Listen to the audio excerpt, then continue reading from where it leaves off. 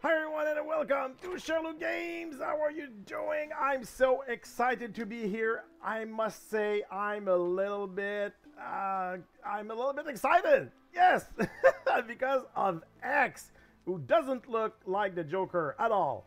Uh, the Mad Diviner, he seems awesome. I didn't get a lot from him. I wanted to keep kind of the surprise, you know, see it with you guys, but he seems pretty cool pretty cool. And why don't we go and check what he's doing here? Come on. Let's open this. Let's do full screen. There we go. Let's watch this together, people. So that's him against the dragon, the dragon.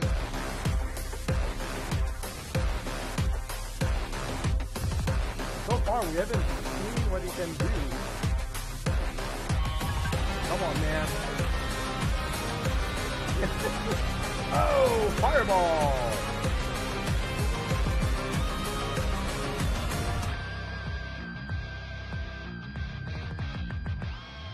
Woo! That was some good news. Watcher of Realm. Woo! For to understand, he can slow, he can stun, he can do a lot of things. And, um, I mean, I, I, I, I, whoa, did I close my game? I closed my game. This is, this is how excited I am right now about, this guy. Um, I think, I mean, since they're the way they're presenting him really seems like he's a big deal. You know, he's someone you want to have in your clan, someone to have you want to have uh, in your team. Um, can we? Whoops! Can we see more? Can we? Can we know more? Let's go to notice new hero.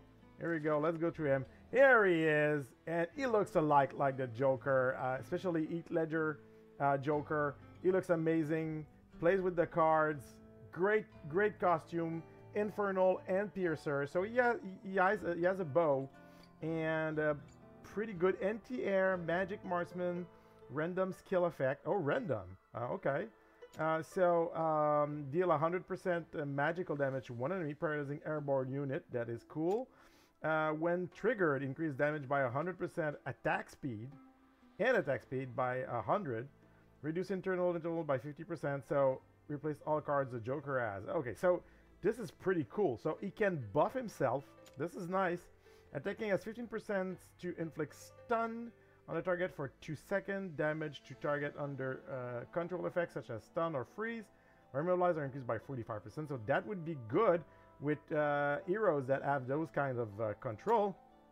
And when triggered by receiving damage, resist incoming damage, and gain invincibility, invisibility for 3 seconds. This effect can only be triggered once. So invisibility, what is invisibility? Cannot be targeted. Okay, well that, that, that makes sense. That makes sense. It costs only 12, which is not a lot. Which is not a lot. 12 is not a lot for um, a legendary hero. This is not a lot and gain one card of fate with each attack. What a, a card, not an effect, but can trigger other effect at certain stack. When having four cards, a hero has a chance to randomly obtain one acquired card of the following. Okay, Temperance, throw three cards, each dealing 100. Okay, you can throw cards. Oh, okay. Death, deal a 500% damage. Oh!